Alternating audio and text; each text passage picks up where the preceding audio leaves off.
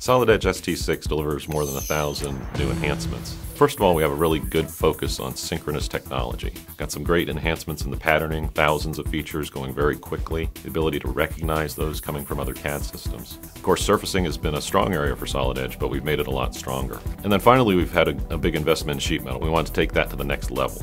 So when you're creating a, a deep drawn part or a stamped sheet metal part, it's often easier to kind of design the tool that's going to produce the shape. So you can use all the different methods in Solid Edge to do that and then you can push that into the sheet metal and deform the sheet metal into that shape. And then of course, since you created the tool, you got a great start on your tooling as well. And it's all associative together, so if you change your tooling, then the part will change as well. We've had 2D goal seek for quite some time. We've extended that to 3D, so you could optimize or goal seek for mass or volume, those kind of things in 3D. So suppose you have a sheet metal bracket, it's a certain thickness, and you need to only have a certain deformation under load. You can't exceed a certain amount. You're trying to make the material thinner, but you don't know how much thinner you can go and still only deflect that certain amount. Optimize will figure out that for you. With very few iterations, you'll have the design complete.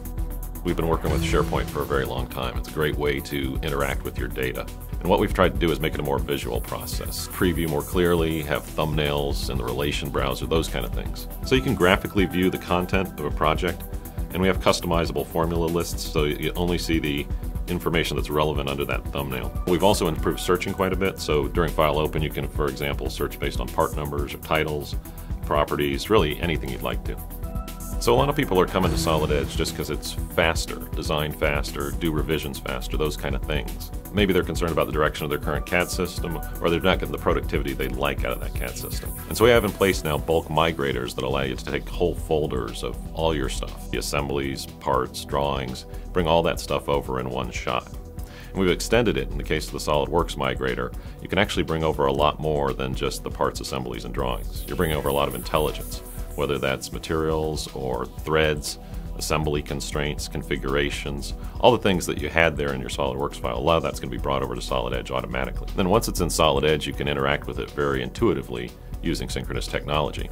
And we've also built a lot of learning tools for users who are coming from other systems. We have a lot of videos that are, are specifically targeted to users of other systems. They can learn Solid Edge very quickly course, another thing is you want it to be a familiar environment. And so we've put in place themes where you can customize your environment in Solid Edge automatically to look a lot like your prior CAD system.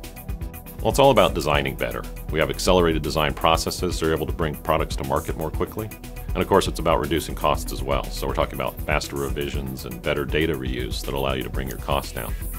So with ST6, there's never been a better time to start designing better with Solid Edge.